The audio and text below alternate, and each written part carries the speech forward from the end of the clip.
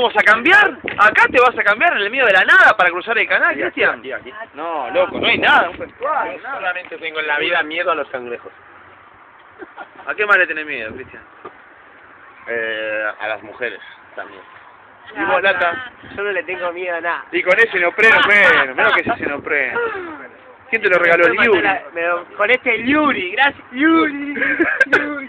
¿Por qué no ha venido el Yuri? Porque no tenía porro, por